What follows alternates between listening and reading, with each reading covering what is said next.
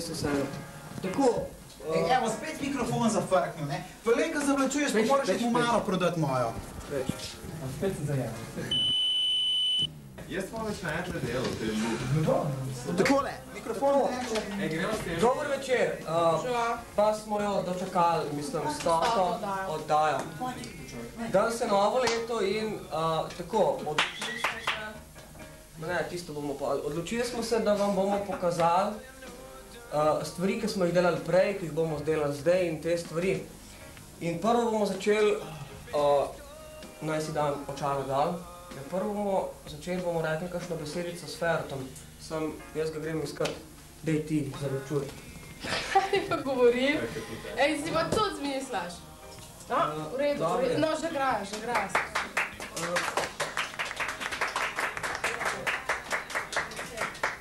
Ferota poznamo uh, predvsem po, kot mojstra dezinformacij in Fera, dej, Čale gor. lahko to. recimo. Ja, pa je za Jaz ne vem, kar, ni, niso to nobene dezinformacije, ker kar je po televiziji, to je res. Ne? Ja. Vse tako je bilo včasih. Ali pa če po radiju, je tudi res. Ne? Ali pa če v časopisu piše, to je vse res. Ne? Tako da jaz ne vem. Pravkar so nam sporočili, da na novomeški tržnici se da kupovati samo še za hrvaške dinarje.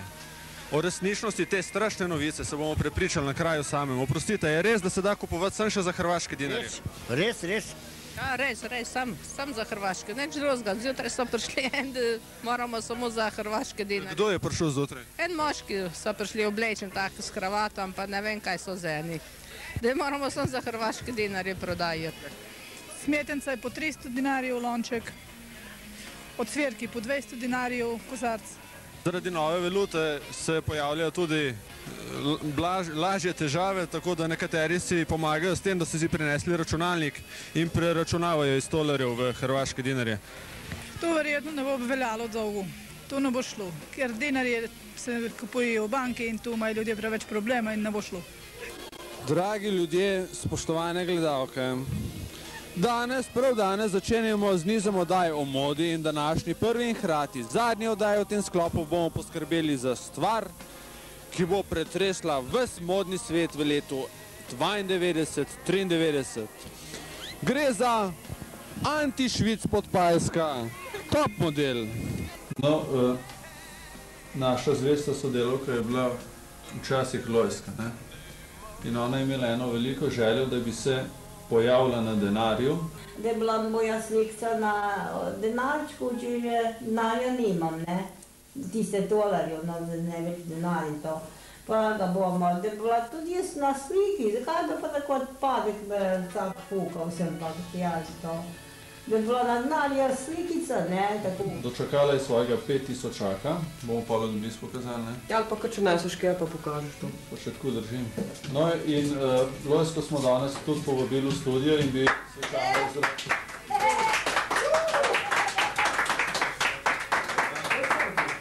Glejte, jaz vam izročam to. Ko sem stara, ko sem stara. pa ne. Kaj ste? To ste si želeli in to vam danes za novo leto izročamo.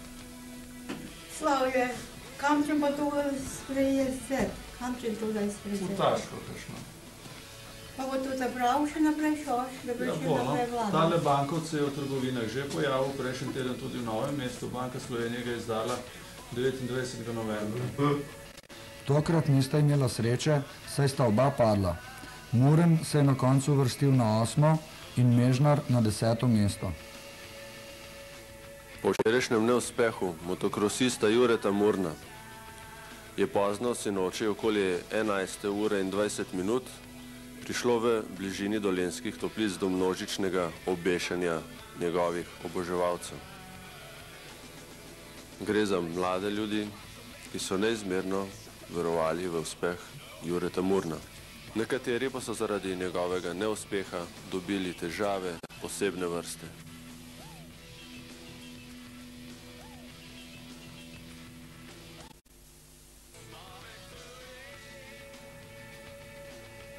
Jure, zakaj? Tako, torej, uh, dezinformacija. Uh, od kje ideja, kako se je začelo, kako nastaja? Uh,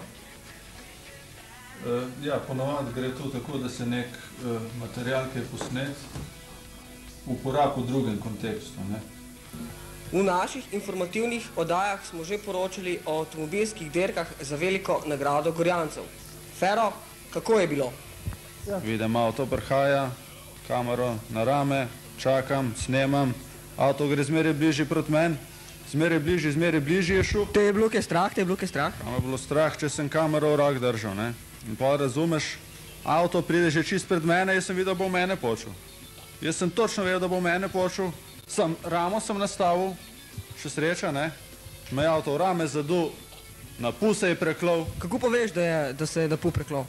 Pa ne vedel, najprej, pol za menoj sem slišal, ne? najprej je reklo štrbunk, pa pa štrbunk. Razumeš, ne? Veš, da sem vedel, da si na pu preklov. Ja, kaj je bilo pa, kaj je bilo pa kaj s tabo? Ja. Men, jaz sem od začetka mislil, da mi ni nič, ne? Sem pa sem tako, sem z glavo stresno, ne? Na kar ugotovim, da so se pojavili eni problemi z govorom, ne? Dobro dan, tle je bilo dirka konc, kdaj mi fondela, mene kritika, da me obiskovati direktor dirke tu on. On direktor dirke, ko je bilo dobro? Kar v red. To je direktor dirke, drugač. Pa, pa je, je, ne, je jaz malo na televiziji bil, ne? Ne, ne, njema. On direktor dirke, smo na televiziji bil, ne? Ej, čau, njemo na to stran, ne? Ne? Pa drugač je bilo, je bilo napeto, napeto, mene kritika, on govori tako dobro. Ja, dobro, dobro je bilo, napeto, fino, kuš trompatl. To je pomotnik direktor, ja, bele, o, bele, malanta, malanta, nema tajta benga, tajta benga mema. Ali to je letel, ja, kako je letel? Pa tako je, ne, je pijavca Beliković je ven sobe, tako brstno, pom, pom, pom, je letel po zdraki, letel skozi na dolžen skarde. Jo, pazi, avto gre, avto gre. Ja, ne, kaj je naredil, ha? Ne škole, pa dirka, ne, ma dirka se škole, ja, ja, ja, ja, ja, ja, ja. Le, on lej, to je bil on, lej, lega, lega, lega, lega, lega, lega. No, on, ti ba to ti ba to. Nisem, nisem, nisem. Ti ba to jedan bil, a? Si preskočil. Aj, pred koto, pred koto. Ja, je to mogla napako drugač, to, to ne. Drugač ne, danes pa, haha. Odpeljal, bolnico odpeljal, dna kot bolnico odpeljal, otroke, dva otroka v bolnico odpeljal. Ja, ja, ja. Hudo, hudo. Dobar dan, ljudje, kad dobro radilo, kje je to bil prvi? Kaj? Ti, ne dome mene, ti prvi bil. Ne. Ti prvi. Prvi? Ti prvi bil. Ne, ne, jaz sem bil zmeraj drugi. Obožujem. Drugi bil. Ti prvi bil. Ne, ne, ti napaka, čak, da ti vprašal, te snemamo, nehaj, snemamo. Snemamo, nehaj, te, te drugi. Vse tako kaže, da se ti je stanje kar izboljšalo. Ja, ne, zdaj je dobro. Edino, kar je, da se zjutraj zbujam, ne. Spat hodim zvečer, pa tle imam mravljince, imam še mečkan v rami, ne. Drugače pa dobro, nimam kaj reči, ne, samo tudi sreča, ne. Veš ti. Hvala. Prosim. Torej, z denacionalizacijo in problemom, da se pojavljajo lastniki raznih gradov, ki niso naši državljani, se ne srečujemo samo pri nas v Sloveniji, ampak tudi v Nemčiji. Tako je naprimer lastnik gradu Neuschwanstein, ki je jugozahodno od Mihna, celo naš državljan, ne boste verjeli, gre za znanega novomeščana.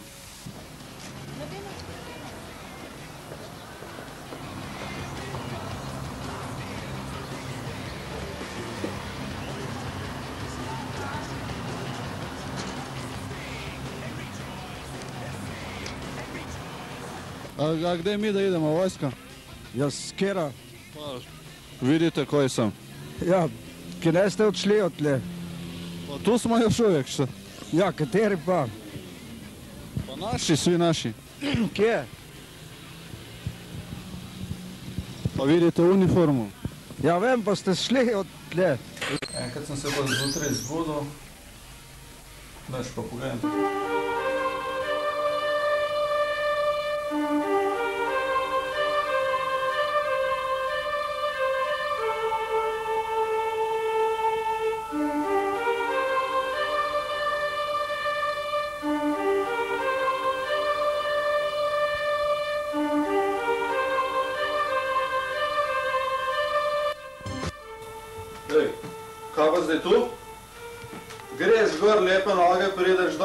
Takole, ne?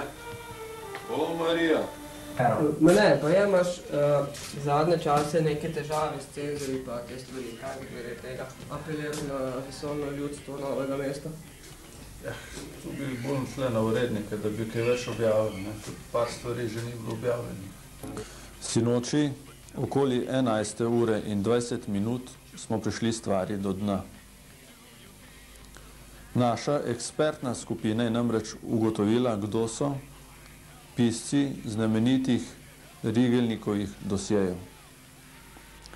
Po nekaj tedenskem delu smo prišli do spoznanja, da Rigelnikove dosjeje pišejo naslednji gospodje.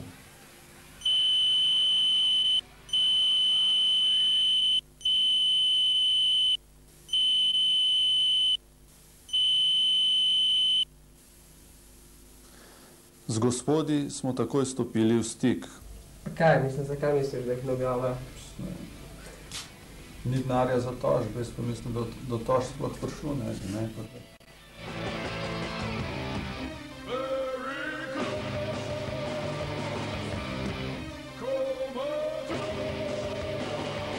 Na moji tej strani je Klemen Dvornik, na moji tej strani je pa Marko Bauer. Uh, na moje tlele je pa Dadov, pa začnimo z Dadotom, ne z Dadom. On je, on je naredil to. to. Uh, tako ne, zdaj pa prvo, uh, ti si tist, fol, pogledajte se ga, to je tist, ko napiše kritike za, za uh, film, ne, in vsad po možnosti, če vsak film raztrga in uh, tako. Kako si začel? Um, začelo si s tem, da je Sašin Džukić, ko je nažalost potem odšel, ne? Ja. me zaprosil, če bi pisal kritike. In sem pač rekel, no, pa gremo poskusiti, ne. Se raztrgani film mi je hobi, ne, da naj tu vsem ljudem predstavil, kako raztrgan film, ne.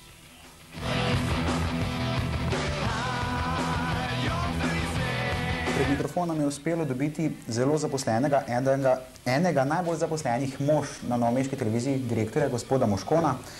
Prvo vprašanje. Uh, kako smatrate oziroma kot kaj smatrate MKC TV oziroma njego, njene, njegove sodelavce? No, jaz predvsem štejem MKC za poživitev našega programa z željo, seveda, da bi eh, napredoval, da bi se razvijal naprej. Uh, kaj pa, kakšne so te vdaje? So dovolj kvalitetne za predvajanje? Slišite neki kritik strani nekaterih, pa tudi nekaj pohvalje, vaše mnenje, strokovno? Torej, eh, težko je o kakovosti govoriti, če nimamo denarja. Ne? Brez, brez znanja ni muske. Ne? Pa vendar mislim, da je sto oddaj, ki ste jih mladi naredili, ne? E, toliko velik uspeh, da si težko kdo predstavlja, ki o televiziji nima pojma, ki o videu nima pojma, da ne govorim o televiziji. E, no, res je, da sem jaz rekel takrat, da treh oddaj tista ekipa ne bo naredila, ki se je takrat vsa navdušena javila, da bo delala e, eno uro programa vsak teden. E, in trdno sem bil prepričan, tako kot je že veliko takih in podobnih poskusov s časopisi, z drugimi zadevami, da novo mesto propadlo, da bo tudi to. Pa vendar moram reči, da je nekaj res, bi rekel, ustrajnih, ne, veliko celo trmastih fantov to obdržalo, nekaj tistih prvih je seveda šlo, ne, nekaj jih je pa zdržalo in moram reči, vsaka en čast, samo čestitke. Kaj pa vsebinsko? Vsebinsko je pa to vaša stvar. Jaz sem rekel od prvega dne naprej, da se v vsebinsko ne bomo tikali, paziti treba sam toliko, odnosno vi morate to odgovornost čutiti, ne, da me ne spravite Orgelce špilat. Še kaj tazga, bistvenega, mislim, da ne. Najlepša hvala. Srečno v novem letu. Hvala enako. Sivja. MKTV. Ali kitajska? MKC TV, god damn. MKC TV. MKC TV!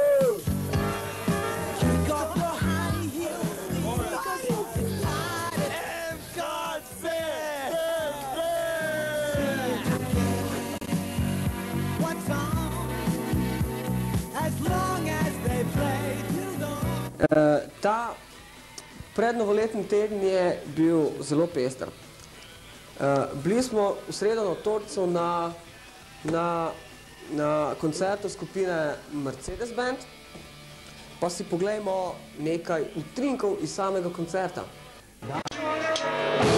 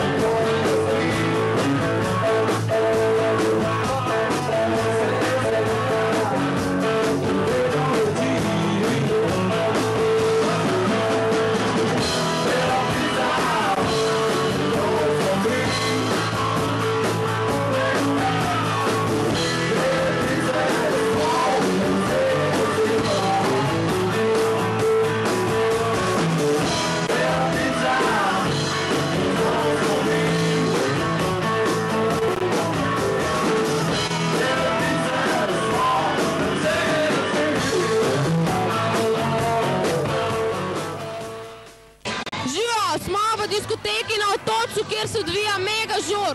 Pred mikrofonom imamo zopet Obro in Tohca in zdaj nam bo Obro nekaj povedal o njihovi novi kaseti, katere promocija se zdaj odvija. Jaz bi vse skupaj pozdravil gledalce vašega kanala. Eh, Skratka, tu smo, tu smo se zbrali vsi ljubitelji rock glasbe na otocu, Mercedes Band in eh, naša strastna publika. Eh, Kaj bi povedal o naši novi kaseti in CD-ju? Tako, eh, pred kratkim smo posneli material za novi CD in kaseto in v bistvu je tole ena manjša promocija tega materijala. Uh, kaseta in CD upam, da izideta nekje januarja, vsaj tako so nam robili v založniški hiši in upam, še enkrat upam, da vam bo všeč.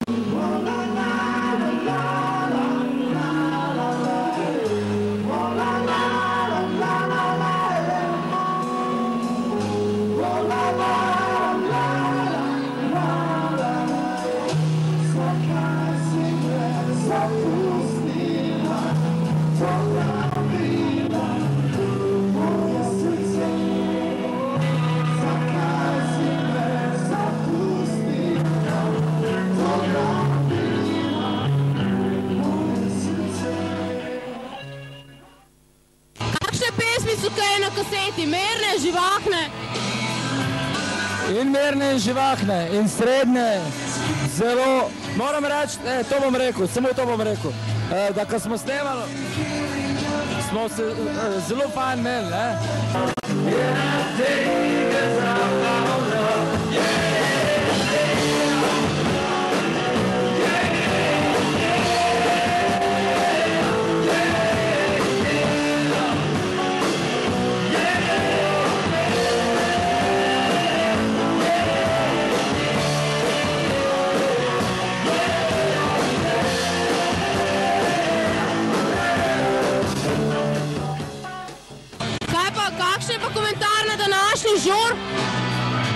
Ja, odlično, super je, Lah- lahko bi se še malo sprostili, samo jih bomo začeli brcati, kaj pa pa. Šti še kaj dodal? Ne vem v bistvu, kaj je rekel, ker ga nisem slišal. Sem, želim si, da bi bilo čim več takih zabav, v bistvu, da se spominjamo stare glasbe, rock'n'rolla, korenin glasbe, moderne glasbe. Skratka, želim še naprej vsem poslušalcem v dvorani, v diskoteki in poslušalcem eh, pred televizijo en let. Novo leto! Točno, srečno novo leto. Srečno novo leto. Srečno novo leto. Najlepša hvala obem.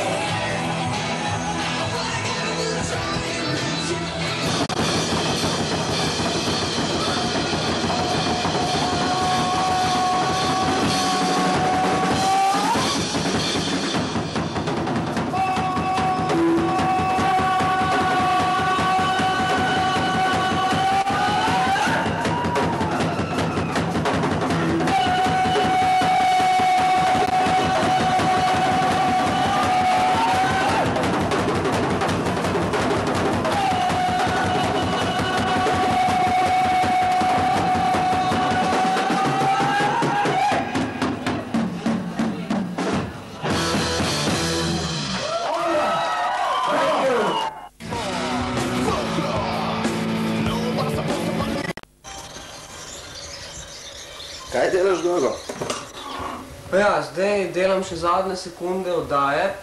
Uh, to smo prej pozabili povedati, ne, da smo bili v četrtek tudi na otvoritvi uh, razširjenega cigo bara v, uh, mislim, v Žabiku.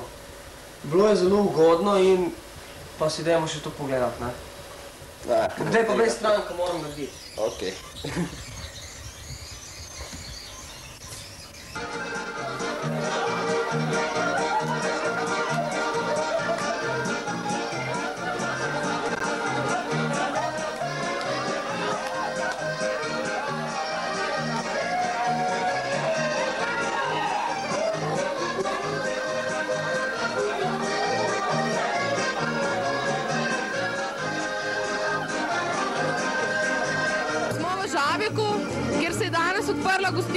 Jurček, oziroma se je povečala gostilna Jurček. Z nami je tudi lastnik tega lokala. Dober večer. Zanima me, kako je potekala današnja otvoritev. Dober večer. Na, eh, današnja otvoritev je potekala eh, zelo v redu. Z obiskom sem zelo zadovoljen. Eh, mislim, da bo še tako naprej in upam, da bo vse tako, kot imam planirano.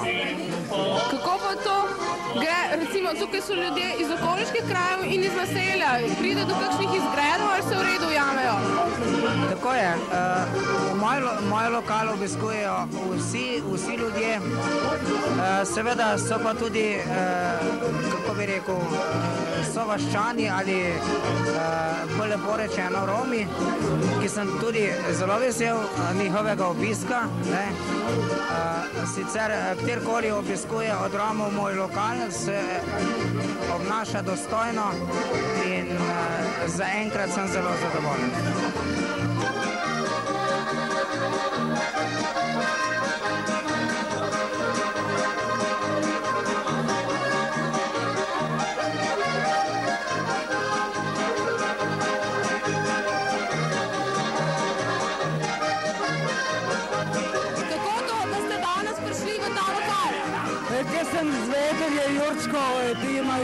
Doritev, pa mi je zelo všeč, krase, prekrasne in krati je, je vse skupaj. Najlepša hvala.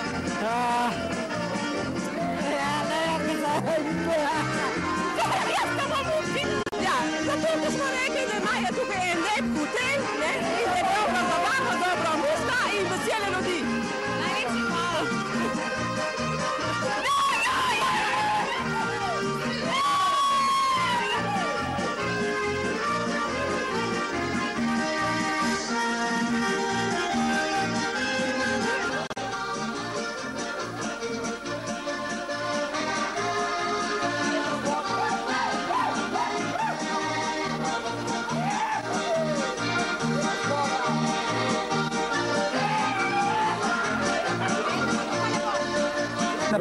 dobro, to je bila stota oddaja. Uh, srečno novo leto, radi se imejte, ljubite se med seboj, ljubite, Bog je rekel. Ej, čakaj, sorry, Jonasa preče ponašaš, Jonasa preče ponašaš, to ni originalno. Veš, jaz imam dost.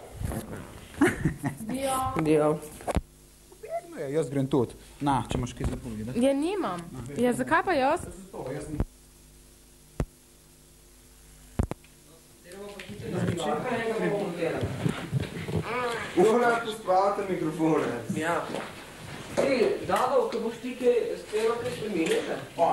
Ti, Dado,